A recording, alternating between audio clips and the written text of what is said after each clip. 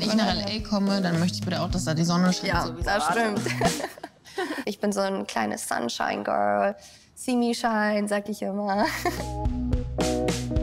Meine Haare sehen dann wirklich wie so tick, tick, tick, tick, tick aus. Von der Sonne. Schöner wäre es, wenn die Haare heller werden, aber nicht kaputt gehen. Stimmt. Aber seid ihr da? Kennt ihr die Schierblond-Produkte?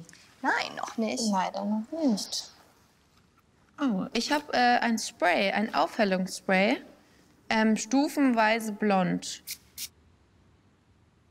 Oh, das geil. Also da steht, dass es eine Zitrone-Wunderkur ist. Ich, ich genieße das richtig. Ja, das riecht nach Zitrone. Sehr nach Zitrone, Nee, das finde riecht ich. echt sehr gut. Ich kann ja auch einfach sagen, wow, das ist ein ganz neuer Effekt, aber wo sehe ich dann den Unterschied? Von daher brauchen wir schon Vorher-Nachher-Bild. Ja. Und das genau Dass man das gut erkennen Let's go, Blonde. Let's go.